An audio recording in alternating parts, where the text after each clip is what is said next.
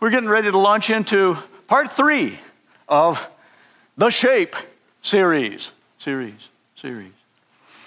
We learned the very first time that God created all of us for a purpose and He made us a, sp- a specific way. And so we have the spiritual gifts. But on top of that, this guy who's out in California, Rick Warren, coined the phrase shape to include some other criteria by which we can measure how we fit into the body of Christ. And I think it's very appropriate. The heart is for the H, it's our passion. So we've got our spiritual gifts, our heart. A is for abilities. There are certain natural abilities that some of us may bring to the table. And then P is personality. We all have different styles of personality. Some fit in different places better than others. And E for experiences. All those together make our shape. And we're learning that God has a specific reason for that as He places us in the body of Christ. So today we're going to learn that every part matters. What is the most important light in your home, if you could point to one? I don't have a light like this, but I sure wish I did because my granddaddy in Arizona used to make unusual, antique, and strange looking lamps out of reused material. And I love this one. This is really cool. If I had this one, it'd probably be the most important light in my house because it's made out of uh, over uh, reused galvanized uh, pipe which looks like it could have been maybe from a gas pipe or something. And they actually even had some water valves on there, some hose bibs. And then you got the old green insulators for the globes over these antique looking bulbs. It's just really cool, uh, really unusual. So if you had a lamp like that in your house, you'd probably say, well, it's that one because it's an heirloom. Or maybe it would be your elk antler chandelier because you use antlers in all of your decorating. Maybe that's your most important light in your house. Mine, however, is a little four watt bulb located about a foot off the floor right outside the bathroom so that I don't jam my big toe right into the door jamb. They don't call it door jamb for nothing when I get up in the middle of the night. It's an important light, four watts. But what would happen if a little night light could speak? What would it say? Would it say, I'm just a little night I'm only four watts. I barely even qualify as a light. I don't belong with all of those other lights. That's what my nightlight would say. But a lot of people go through life kind of thinking like that little four watt bulb. They think, oh, my abilities or my passions or my spiritual gifts don't amount to an awful lot. I feel like a little four watt believer. And what I might have to contribute is nothing compared to those people that I see doing those wonderful things for Christ. And they have such faith. And they're going around the country and they're witnessing and all this stuff. And I don't feel like that. But guess what? The Bible is going to tell us that every single part matters. And sometimes the ones that we think might be, at least by appearances, less important are actually really vital. All Jesus followers are part of the the body of Christ. 1 Corinthians 12, we're going to kind of camp out in 1 Corinthians this time. We were in Romans before, and I'm saving the spiritual gift of evangelism toward the very end of my message because I need to make a couple of big points with that as we sort of wrap up this section of the first three in this series called the Shape Series.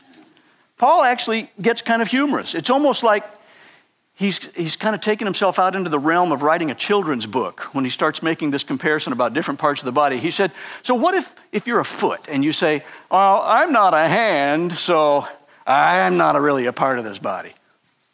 And he'll say, Or I'm not an eye, I'm an ear. So I'm not really a part of this body either. I mean, it sounds funny, right? You could almost expect that you'd hear some giggles from his audience if Paul was teaching this in a public place. And what would the body be like, he asks, if the whole body were made up of eyes? Well, it'd look really strange, for one thing. It'd look pretty scary. I think I saw an old science fiction movie back in the 50s that looked like that. But 1 Corinthians 12, 17, what would the body be like? Would there be any hearing going on? It might be able to see really well, but it couldn't hear a thing. So you really kind of need all those. Or how about this one? What if the body were made up of ears? I kind of felt like that in seventh grade. Sometimes our ears, we have to wait for the rest of us to catch up growing. What would the body be like if the whole thing were made up of ears? Well, again, it would look really strange. You could hear really well, you could hear that steak sizzle on the grill, but you couldn't smell it. What fun would that be? I want to be able to hear it and smell it and see it and taste it. I want all of my parts of the body engaged if I'm going to eat a good steak. Can I get an amen to steak? Amen. All right. But in fact, 1 Corinthians 12 18, God has placed the parts in the body, every one of them, just as He wanted them to be. There's freedom in knowing that God has made us the way He's made us and that we have a function that matters in the body of Christ, even if we don't look like that person over on the other side of the room. So, it may seem weak at first glance, that little four watt bulb, but I'm here to tell you it is indispensable. And in fact, in one of the translations related to this passage, Paul uses that word indispensable. Parts of the body that seem to be weaker are indispensable. I can think back to some of the folks that I have known through the years that have been members of the body of Christ, where I've been able to serve, or where my dad was serving as pastor and I was just a, a little attendee. And I would think, you know, that person very rarely speaks out in public. Most people could walk right by them on the street and they really wouldn't call attention to themselves because they're a very shy person. But when you understand what part they played in the body, you start to understand how indispensable they really were. And my mom and dad were good at noticing that. They could pick up on that in people, they had that sixth sense. Just as our bodies have many parts and each part has a special function, so it is with Christ's body. Isn't that good to know? We all have a specific function. I've told, I think it was last week when I said, you know, some people may say, oh, I'm just a toenail. But have you ever lost a toenail? Oh, man. And we feel a void when somebody's not here as a part of us, regardless of what part they play, because we need everybody to be a part of that body. And it hurts when they're not here. We are many parts of one body, and we all belong to each other. We all matter, and we matter to each other. Because if we're functioning the way that God intended the church to function, suddenly we start to understand it's not just hanging around with the people who are just like me that makes true community. True community is starting to hang around with people who are very different than I am, and we start to appreciate and understand our differences, and in fact, we even rely on each other's differences. I'm grateful for the differences in this body because I'm able to call on people who have a specific gift that I don't possess. And I'll say, Can you help in this specific thing? And they'll say, Oh, I'm glad to. Because for them, it's no big deal. For me, it's like, Oh, pulling teeth trying to get this done because I'm not gifted in that area. Aren't we glad that God makes everybody a little bit different? There's freedom and purpose in being who we are shaped to be. And if ever there was a time in our culture's history when people are longing for a sense of purpose, it's right now.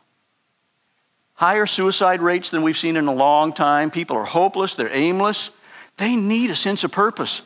And Paul's telling us in 1 Corinthians, and God's given you a sense of purpose if you can just awaken yourself to what He has gifted you with and put those gifts to use as a part of a body of Christ. There's such purpose in that. We don't just absorb light, we shine light. I'm going to throw a couple of different metaphors at you, both of which come from Scripture. We don't just absorb light, we shine light. So if we were just absorbers, if we were sitters and soakers, we would come to church and we would get all filled up with our vitamin D, almost like you'd be sitting in front of uh, one of those lamps, you know, that's supposed to try to help you with this uh, seasonal affective disorder. So let's say that the church is a seasonal affective disorder lamp. And you all come to just soak it in. And fortunately, you've got a magnificent pastor who can just shine, all over you. I'm just going to shine, baby. And so you go home and you think, wow, I got my vitamin D for today. I feel great. But is that what Paul is teaching us that we should be like? No, we're not supposed to just absorb. That's why I was teasing our two snowbirds uh, when I sent them a text this morning and I showed that in my vehicle it said that the outside temperature was zero when I sent it to them at 7:30 this morning, and I said, "Oh, we really miss you. Wish you were here." Uh, we really do miss them, but they're just kind of absorbing. But that's okay because they're going to come back, and when they do, they're going to start shining a little bit too. What is this on the ceiling? Anybody get a clue? Yep, glow in the dark stars. I happen to know a girl in my family who, when she was little, had some of these little stickers that she would put up on her ceiling so that after they had absorbed a lot of the UV rays through the day, then you'd shut that nightlight off and we'd have our little nighttime prayer and we'd have our little song and then we'd rub that little girl's face with our finger and say, We're going to go off the ski jump now. Whee! Good thing it didn't land in your mouth. You would have eaten the skier. And we, you know, all the little things that you do with the kids. But she'd be looking at those little stars twinkling above her, and she'd drift off lazily into slumberland. But those don't have any power in themselves, do they? They're reflecting the power that has been fed into them all day long. That's kind of what we are as the light of the world. The sun is the one who gives us the light, and we're just reflecting it. We absorb a little bit of it, and then we put out what little bit we can. Some of us are little four watt bulbs. I feel in my life very often like I felt like a four watt bulb, but I'm still supposed to, this little light I'm still supposed to shine my little light around. We absorb the gospel light of Christ, and then we shine some of that light back into a dark world. Now, I have to define a term. Because when I used to hear the old hymns and I would hear people talking about, you know, the pulpit pounders with the holy spit, and, they would talk about the gospel light, that was something that for me meant that you had to go and smash somebody up the side of the head with a big family Bible and tell them that they were going to die and go to you know where if they didn't accept Christ right now. That was what the gospel light meant to them. And when I look at the New Testament, and if I look at all the different gifts that God has given people in the New Testament and I see how people are drawn to the love of Christ, I think that was an inaccurate depiction of what shining the light means. The gospel has a permeating influence on everybody we come in contact with if Christ is truly living in our hearts and minds. And He is, and He does. So that with all of us, even if we're not gifted in the same way as somebody else, we could be one of the most introverted persons on the planet, and we can have such a wonderful permeating positive effect as we shine the little four watts that God's given us into other people's lives. And it's amazing to see that happen. I watched that with my own sweet, dear little mother. And she could be so meek and still so powerful in the way she came across to the people she came in contact with. That's the permeating effect of the gospel, and that's what we're all supposed to do. Think back to those little lights on the ceiling. What happens if we, one of us was our little four watt star and it absorbs the light from the day, and then we go out the next day and we're going, I'm trying to shine. Boy, I don't have much to shine. But what happens if we gather with a whole bunch of other stars like that, and maybe all of us are four waters? You put enough four waters together, and what happens? All of a sudden, it's glowing. That's why God needs all of us in the body of Christ to absorb that light from His Word and then permeate that dark world with what He's got us to share as well. No one lights a lamp and puts it under a basket. Why would you do that? Because you didn't want anybody to see it. He says, instead, a lamp is placed on a stand where it gives light to everyone in the house. That was Jesus' words as he was teaching about how we're supposed to shine that's gospel permeating light to others so that we can reflect his goodness to other people. In the same way, let your good deeds shine out for all to see so that everyone will praise your heavenly Father. I've noticed in several of the parables that we went through when we went through our Matthew study a couple of years ago, and every time somebody would finished some wonderful miracle. Or it wasn't the parables, it was the miracles that I'm thinking about, especially the, the man uh, who was paralyzed and his friends let him down through the roof. That's the one that's coming to mind currently. And then Jesus said to that man, Your sins are forgiven. The Pharisees were saying, Who is he who's saying his sins are forgiven? Only God can do that. yeah, that's, that's kind of the point.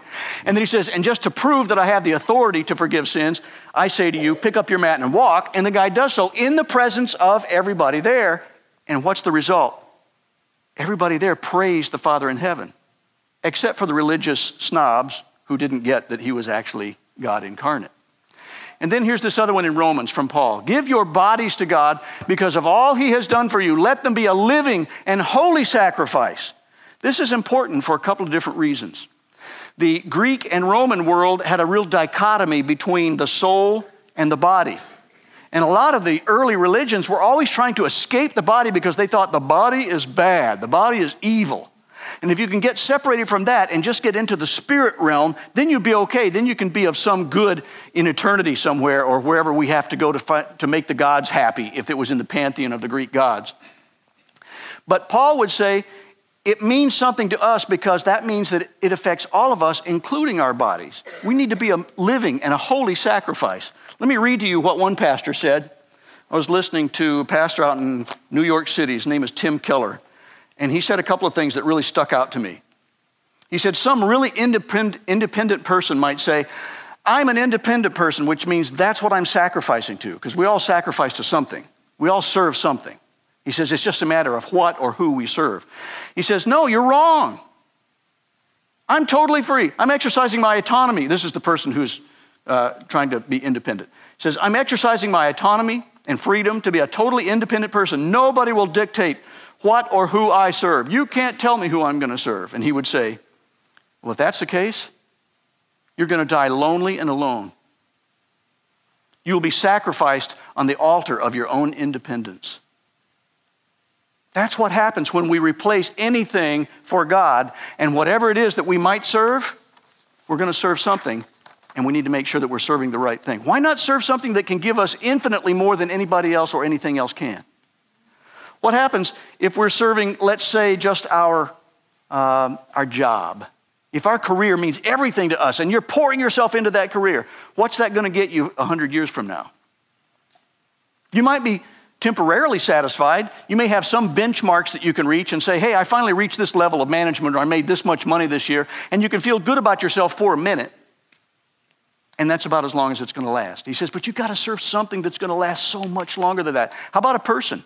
I've seen some people invest themselves so much in a personal relationship that what happens when that person says, um, I've been thinking, I don't think I really want to continue this relationship. I'm walking. What does that do to them? Well, sometimes it devastates them. Why is that? Because they can't give you what's going to satisfy you for eternity. Only God can give you that. So that's why I think it's so vital that we catch this living sacrifice idea that Paul is teaching us here. We all want something that puts life into our lives. I'm stealing that from Jacob Elwell. He and I had coffee the other day, or hot chocolate. And I don't know if he's the first to have said it or not, but I'm going to credit Jacob for saying it because it stuck with me. I thought, that's a great thing. I want something that's going to put life into my life.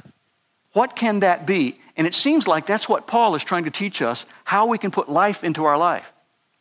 We recognize that God's given us what we need to put life into our life, and it's not going to be the same if we're exercising that as one individual sole purpose or a sole person. We can't reach our full potential that way. It's only when it's in context with all these other members of the body that then things start to happen. Uh, this just popped in. I have the weird things that come into my brain sometimes. It's the ADD, I'm afraid. But somebody was talking to me uh, a couple of years ago about this thing called alien hand syndrome. And apparently it's a psychological thing. It's a real manifestation where people would have their hands start doing things and they wouldn't mean for them to. And they would say, Stop that. You know, it's like, quit. What? No, stop. You're not supposed to do that. You're in public. Is it, is it okay for me to pick my nose in church? I'm sorry about that. Fortunately, my wife is not here to correct me. But the alien hand syndrome, it seems so odd. Why is it odd? Because the body's supposed to function together in concert. You're supposed to be able to do things that actually make sense. And when somebody tries to say, oh, I could be a, a, believer in God, but I don't have to be a member of that body of Christ, it's like alien hand syndrome. It's like you've got this weird part of the body that's off doing its own thing. It's like on, what's that show, the, the Addams Family? Wow, that's just weird, right? I think sometimes we need to understand that when Paul is giving us humorous illustrations, it's because he wants it to stick. He wants to be ludicrous with how ludicrous it would be for somebody to say, I love God with all my heart, but I don't really go to church. I don't really want to hang out with those people over there because I just feel like I can be more in touch with God when I'm out in His creation and stuff like that. Well, sure, we can. But man, if you read any part of the New Testament, especially these parts that we're looking at right now in the Shape series, you get to, to the conclusion that we've got to be a part of the body of Christ if we're going to truly be fulfilled. Can you tell I get a little passionate about that? It's my exhortation. It's coming out. God gives us what we need to put life into our lives. And He does that when we come in contact with people that help each other become our best selves with relation to how we're related to God, not living my best life now, like we see some other people who would write about that kind of subject. Because our best life now is the one surrendered completely to Christ. Now, the one who has fashioned us for this very purpose, meaning eternity as a new creation in Christ, that's the context if you read back just a little bit before 2 Corinthians 5 5, is God, who has given us the Spirit as a deposit, guaranteeing what is to come.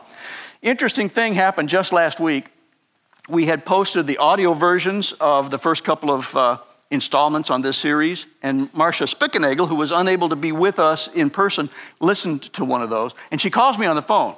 She goes, Pastor, Pastor, I just have to share something with you. This is so cool. I just got to finish, finish listening to that Shape series sermon, And I have this morning devotional from a book that I downloaded on my Kindle, and it's this guy who teaches one Greek word a day and unpacks that Greek word and shows different areas where this Greek word makes a difference in how you interpret the word.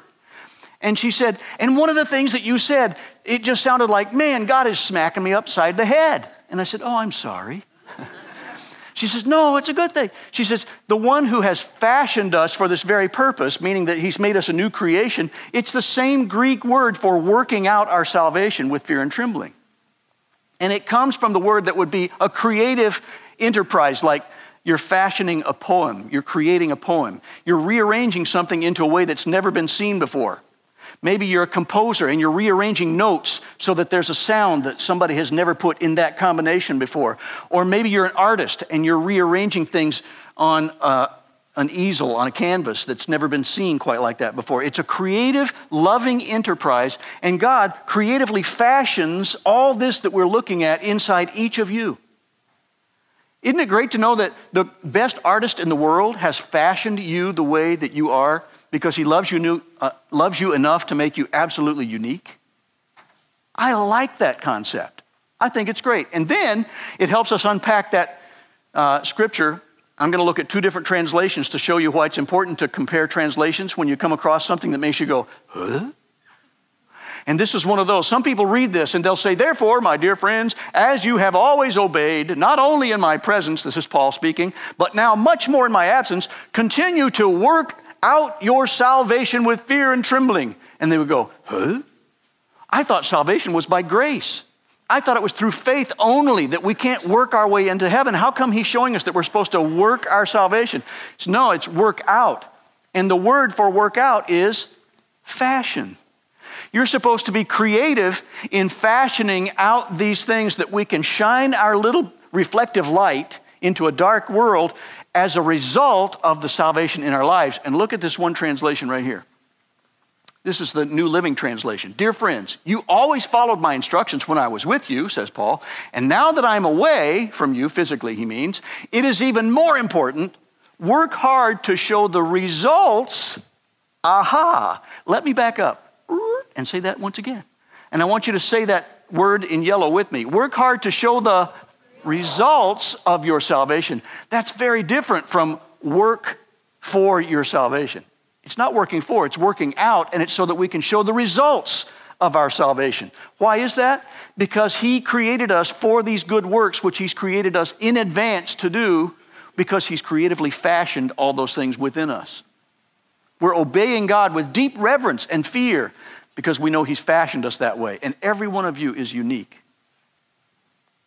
Now, Three ways that being a living sacrifice can affect every one of you. I'm going to zip through these quickly. First of all, being a living sacrifice affects all of you. Remember, I said there was that dichotomy between body and spirit in the Greek and Roman world? There were some people who sort of compartmentalize their faith and say, well, this is the inner, the inner self, and that's my faith part. But I'm going to go out in the world and I'm going to live just like the world out into the world. And Paul's saying, nope. That's not what you're supposed to do. It affects every part of you. You're going to surrender your bodies as well as your spirit because you're all one. That was mind blowing to the Roman world, to those Greeks. They would have been going, What? This is incredible. You mean that if God transforms us, we're supposed to take our bodies with the things that God is changing us from because of the inner workings, the transforming of our minds, and we're supposed to impose this stuff lovingly on the world around us to shine that light out so that we can have a permeating effect? And he would say, Yep. That's what you're supposed to do. It affects all of you. And I've known some people who've kind of had this dichotomy going on, even in a modern day sense, that they would say, Oh, yeah, I believe. I have this part of my brain that is my belief part. I believe in God. But they're doing nothing with their lives that would give some indication that they're shining any light out there. And Paul would say, Okay, if there's that kind of dichotomy, you probably need to go and revisit whether you're really truly saved or not. Because if you're truly saved, there's going to be fruit born from you. You're going to shine light out there, especially if you're hanging out with other members of the body of Christ because you spur one another on to good works. Secondly, being a living sacrifice affects how we feel about ourselves. Let me show you how in Romans 12, 3. Don't think of yourself more highly than you ought. In other words, don't get puffed up to say, I'm an ear. Too bad about you, little toe. I'm an ear, and so I feel pretty good about myself because of the role I play in the body of Christ. I can hear really well. He says, No, don't get puffed up because we're all equal. He says, Think of yourself with sober judgment, which means rationally, introspectively, honestly. Have a, a, good view of yourself, an honest view of what you're really like. And he says, but that can also reflect the opposite end of that spectrum. You can think lowly of yourself. He says, don't think too highly of yourself, be puffed up, but don't use the fact that you've got a four watt bulb as an excuse or a cop out to say, yeah, I can't do anything. I, I'm just going to sit here and soak in the UV rays from the sun and from the light because I can't do really anything. And so I, I, think of myself so lowly that God could never use a person like me. He said, No, don't think that way either. Somewhere in the middle is a balance where we understand, yes, there's something God has for me. And I need to find what that is and plug into it so that when I do, I start to shine out this light that comes from the source, which is Jesus. Because God has distributed to each of you these different gifts. Number three, being a living sacrifice affects our attitude toward others. Suddenly, I find myself willing and a little more able to put up with annoying people more than I used to. I find myself telling myself, wait a minute, remember, you're reflecting light. This person is really annoying right now, but for 30 seconds, I'm going to love them with the love of Christ. Just 30 seconds. If I can just hang in there for 30 seconds, I'm going to do it. And then when 30 seconds gets done and they're still annoying me, I can say, okay, God, give me 30 more seconds and he gives me 30 more seconds, and I keep loving that person because we're a servant to other people. Now, that's taking ourselves outside the realm of the spiritual gift of serving. That's different. That's just being a general servant, meaning that I'm going to be a servant to everybody I come in contact with so that they can see Christ being reflected in me. Every believer, every believer, I don't have a pulpit to pound on, so every believer has at least one ability. Some of us have more, most of us have a mix. Every believer is unique. And a beautiful thing about that is that even if you may be shaped like an ear, and even if you may be shaped like a big toe, maybe you're an elbow. Would you scratch mine right over here? That'd be great. See, there are certain things that we can do for each other when we're all put in the same thing because we're all unique. But when we all get put together, what does it look like? It starts to look like Jesus to the world. They start to see what he looks like expressed into the world a whole lot more clearly than if one person tried to just shine that light. We can't measure others by our own abilities.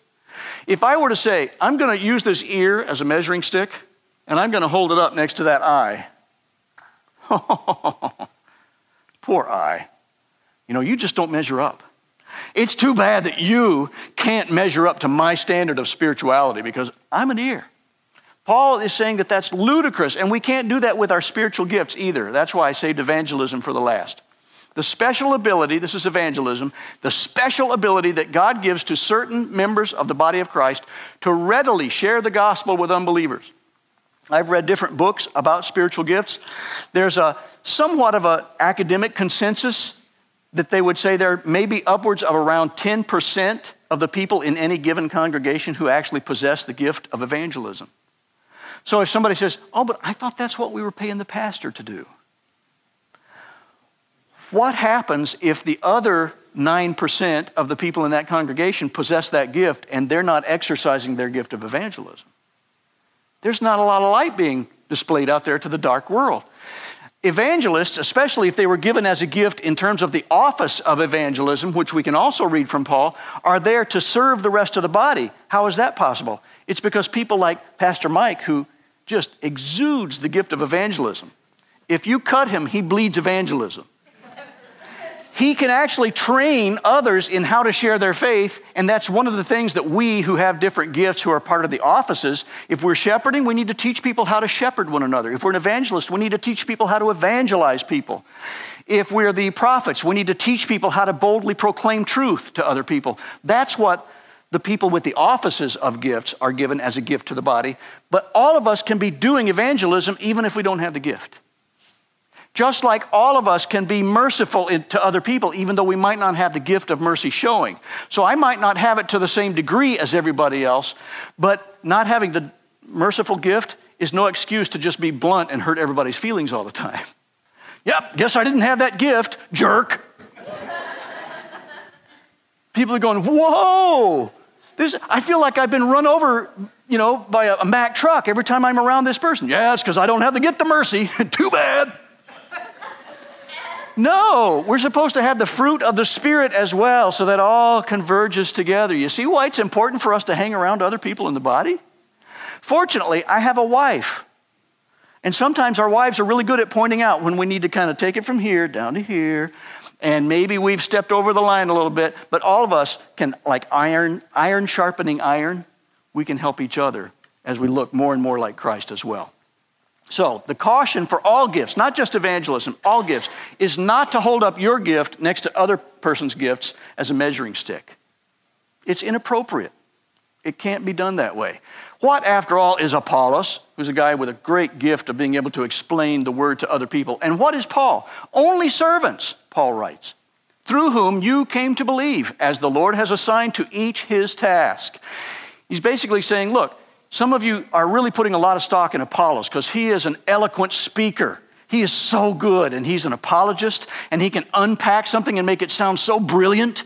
And then there's Paul, and he's a pretty good speaker too, but he's got a different set of skills. But we're all just servants.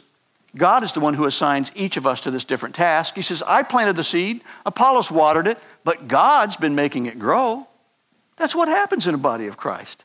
And if all of us, as little tiny four watt stars, are shining our light, then all of a sudden, some of you have cultivated a friendship somewhere that none of us, else, none, none of the rest of us could cultivate. Somebody else comes along, they water that. Somebody else is watering a little bit more. And pretty soon, that seed of the word that's been implanted in somebody's life, after a hundred little sacrifices, they start to say, Oh, I get it. I'm germinating. I'm starting to feel that this gospel is having a permeating effect in my life, and I'm waking up to the idea that God has a life for me too. And I want to sacrifice myself, become a living sacrifice to the one person who can make my life better for eternity. So, neither the one who plants nor the one who waters is anything, but only God who makes things grow. The one who plants and the one who waters have one purpose. It's the same purpose to be able to spread this redeeming gospel to as many people as possible because I want to take as many with me as possible to heaven someday. These are some things we can do. They're simple, but we can do them together as a collective body of Christ. Cards and cookies. We're going to have a. Mike's been on me to get good deadlines. Thank you, Mike, for that.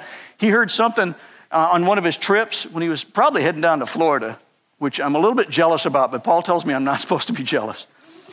But he's been saying that good leaders set deadlines. And so, man, we're working hard to set deadlines so we can get stuff done this year. And we're going to set a deadline by which we're going to be able to have these cards that you can hand out to people. We're going to have lots of opportunities for us to collectively go and serve somewhere, hand out some cookies and punch at a concert, things like that, and then just hand people the card at the right opportunity. All of us can do that. Events on the property, we're coming up with a couple of very crazy ones that might just attract some attention from the other folks. Going to see if we can uh, get a trebuchet that would put a pumpkin from our property into the back of the Gubini's house. You know, we'll have a walkie talkie. You can let us know if our range is just about right. There. it's the least we can do. We're going to have some question based Bible studies. If you want to go to uh, qplace.com and look that up, I'm going to be talking more about that, and we're going to have some sign up sheets for people that say, I want to try one of those, I want to be trained, and then I'll invite you into my home so that we'll actually do a practice session together. And then I'll also be meeting with you weekly to help you so that if you say, We ran into this problem in our study, what do we do about it? Then you've got constant feedback every week about how we're going to work that out. Maybe we'll only have one start. I'd like to see six, but that's just me. But however many God is going to raise up, it's going to be because we're gifted for that, and it's a place where we can get out right out there into people's homes and invite friends and neighbors who might not have anything to do with church. That's great. We would love for them to participate in that so that you can ask some questions. They answer the questions. The questions can be answered from the scripture, so you don't have to be the resident expert. In fact, we recommend against a resident expert because we don't want to make people feel like, oh, I can't go to this study, I don't know enough. That's not the purpose. The purpose is to get people into God's Word. So we're going to talk more about the Q based studies and then inviting people to events, and sometimes they might actually come to church. I've heard some of these testimonies about somebody that said, Man, I had this annoying neighbor, and I finally just said, Yes, I'll go to church with you to get him off my back. It was after about the 20th invitation, and I showed up, and then I find out, oh, wait a minute, this pastor's been reading my mail. How come he's talking about stuff that I've been thinking about this last six months? This is weird. You know, I've heard testimonies like that. And then coffee chats. Just invite a neighbor out. Get to know them better. Invite them over to your own house. Take them out to the, uh, the Owl in Milan or to a nearby Starbucks. Or if you don't like that kind of coffee, just make some tea. That's okay. Whatever you like to do to invite somebody that would open them up to an hour of just talking and get to know them. You might not even get into a spiritual discussion the first six or eight or 12 times, but get to know them. Invite them into your life before you invite them to church. That's how I want us to start behaving what we believe in 2019. Are you with me? All right, thank you. Turn in those reach opportunity sheets by next Sunday. They're on the back table. I want everybody to participate. My aim is to have clearly communicated this vision so that everybody will say, I can do one thing.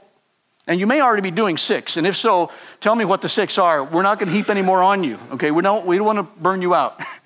That's totally fine. But if you not, are not doing anything yet, there should be one thing on there that you could say, I can do that. And if there's not, mark other and tell me what that one thing is. And then let's reach together because if we have 100% of the people in this body of Christ, each with their shape, exercising what God has gifted them to do, God can do the impossible because that's what He's good at.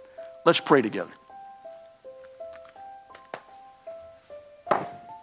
Father, I'm looking forward to seeing what unusual things you've got up your mighty sleeve this year as you're teaching us how to really become that body of Christ the way you envisioned it and the way you put it into practice way back there when Paul was instituting some of these things in the new believers. And I'm grateful that we're that kind of New Testament church that basically we just take the word at, the, at its word. We think that this stuff still happens, it still works, and you're still doing the impossible through simple four watt believers doing what you've gifted them to do when we put all those parts together and work the way you intended the body of Christ to work. I pray that you'll do that this year in 2019. And I thank you for what you're going to do in the name of Jesus. And all God's people said,